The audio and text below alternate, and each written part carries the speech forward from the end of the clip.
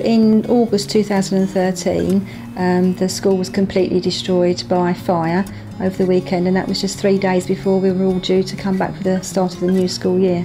And so there was absolutely nothing left, no, no walls, just ashes really. We came out to market unexpectedly as a consequence of the fire.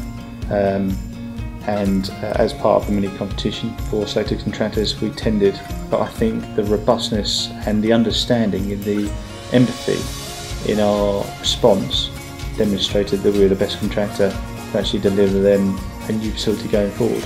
So we've de delivered a um, 5.8 million pound brand new infant school, which is uh, 12 classrooms, four of which are for the foundation.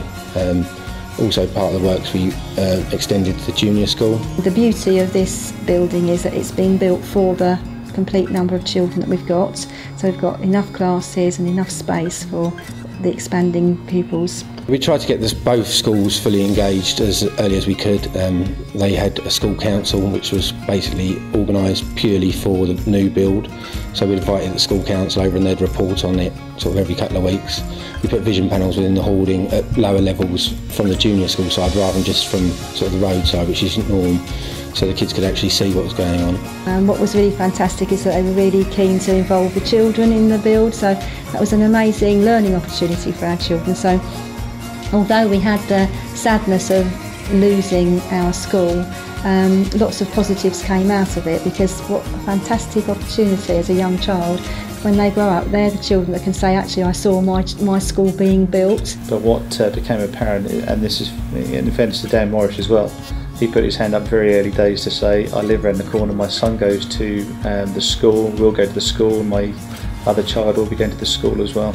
If there's any opportunity for me to get involved, then please bear me in mind. I, I mean, I've worked for Morgan Sindall for 15 years now, and I've done many schools and different buildings that affect communities, but it's a very much a one-off opportunity, I believe, to be able to build something that directly affects my family. I've got two sons, both of them will be going to the school, and hopefully their future will be shaped from that school that I was involved in building.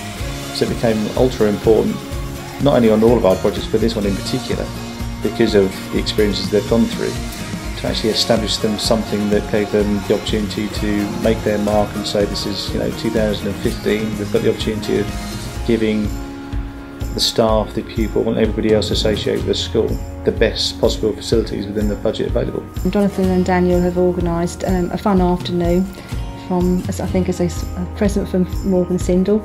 Um, so we're having bouncy castles, I think there are swing boats, every child's going to have a free ice cream and we're just going to enjoy ourselves in the sunshine on the field to celebrate our new school. It became an opportunity for us to actually say thanks and appreciate all the efforts that the, the school had gone to to accommodate our wants and needs and requirements to actually deliver them, you know, a project.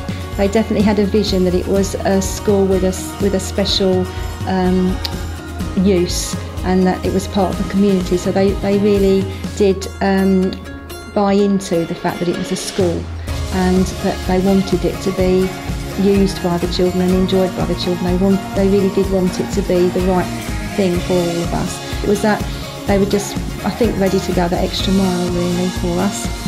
And on time, that was the most important thing. It was ready for the September on, on time.